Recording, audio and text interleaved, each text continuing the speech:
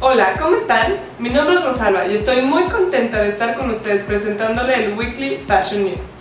Les voy a contar acerca de esta semana las nuevas tiendas que abren de Juicy Couture y Burberry, las vitrinas de Bernice. Giselle Bunchen es reemplazada, Vogue y su nuevo número en septiembre, Levi's y su nueva campaña y por qué Húngaro se ha quedado sin diseñador. Vestida para matar, fue el nombre que Helmut Lang le dio a la vitrina que está en Bernice, New York, mostrando sus más recientes diseños. Pero no fue del agrado de todos, ya que a algunos clientes les molestó lo agresivo de las imágenes. En la vitrina vemos a los maniquís en posiciones extrañas, como si fueran a ser atacadas y los cristales llenos de sangre.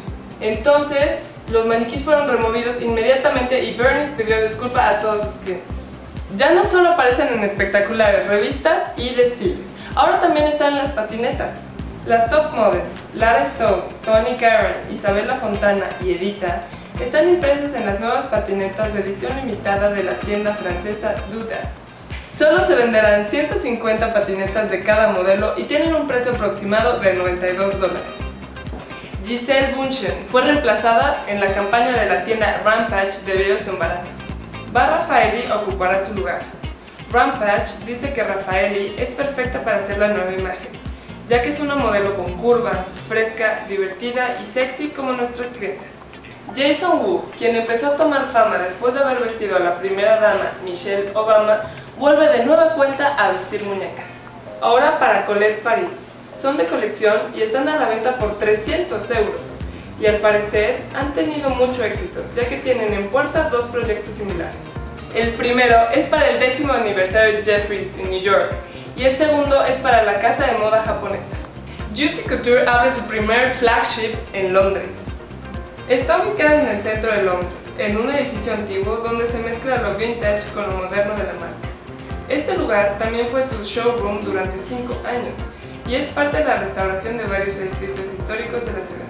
También Burberry abre su tienda más grande en Singapur en un lugar que se llama Ion Orchard. La boutique fue diseñada por Christopher Bailey, siguiéndole el estilo de Burberry. La tienda cuenta con internet, lo más moderno en sonido, un salón VIP con estaciones para iPod y una pantalla de 103 pulgadas. Aparte, se diseñó una colección especialmente para esta apertura que incluye artículos de piel, bolsas, entre otras cosas.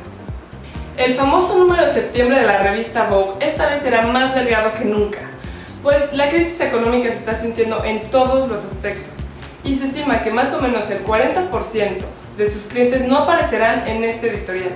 Lo mismo, el suplemento anual Fashion Rocks fue cancelado.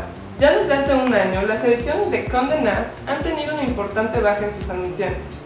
El más fuerte fue de la revista W, que perdió el 47%. Ahora hay una nueva tendencia. Las marcas de lujo se anuncian en internet, ya que es más barato global y aparte medible. Esteban Cortázar deja de ser el diseñador de Emanuel Húngaro. Se dice que el rompimiento es de mutuo acuerdo, pero se sabe que tenían problemas desde hace tiempo y no llegaban a acuerdos en cuestiones de cómo manejar la marca y decidir quién sería la nueva imagen de la marca. Pero aún no se sabe quién va a ser su sucesor ni cuáles son los planes de Esteban Cortázar. Levi's se ha inspirado en las cárceles para su última campaña. Levi's Vintage Collection está basada en diseños inspirados en los antiguos trajes de los presos entre los años 20 y 50. El estilo es muy sencillo y consta de mezclilla, camisetas blancas y pantalones a rayas blancas y negras. Y por qué no, toda la sesión tiene el aire de esos años. Fue un gusto estar con ustedes, mi nombre es Rosalba y no se les olvide visitarnos en www.contempotv.tv. Hasta luego, un besote.